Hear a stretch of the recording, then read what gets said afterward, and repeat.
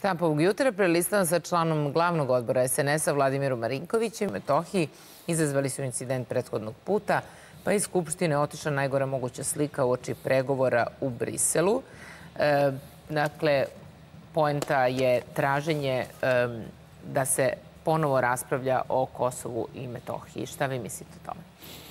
Pa nije to jedini zahtev. Smo se kasnije, nastavimo prelistavanje dneve štampe i malo pre smo pomenuli ovaj naslov politički ratnici utešu decu slali u rata kada krenu na Kosovo, vrate se nisu imali PCR test, to je rekao i predsednik u jednom od obraćanja. Da su u padu, uključujući poljoprivredne artikle, metale i naftu i ima razloga za 26. februara je bilo godinu dana od rusko-ukrajinskih sukoba i na početku kada smo pričali mislili smo da će to do mesec dana trajati. Evo, sada ne, ne nazire se kraj. Večernje novosti na svojoj strani. Zelenski se ne povlači iz Bahmuta.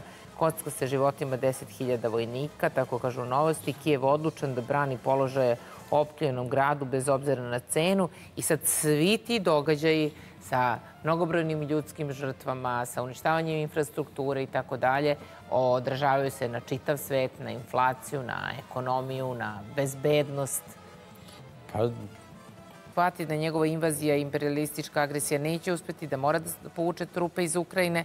To je osnova za razgovore. Do tada će NATO nastaviti da naoružava Kijev, kaže nemački e, kancelar i priča se o toj pogrešnoj proceni Putinovoj. E, kaže, ubijena Sanja M dva puta prijavila nasilnika.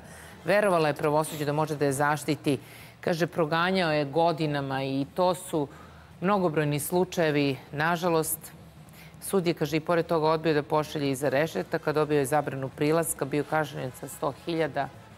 Znate kako, mi kad govorimo... Ubijena, a bilo je slučajeva i, de, i, dece od Da one koje, partnera. koje su ugrožene da imaju zaštitu. Znači da mogu da se pouzdaju, da ima put, da ima način, da ih ova država preko pravosudnih organa i preko, preko svog sistema zaštiti od takvih nasilnika. Hvala vam najlepše što ste bili gosti Novog jutra. Hvala i vama. smo razgovarali o važnim temama, a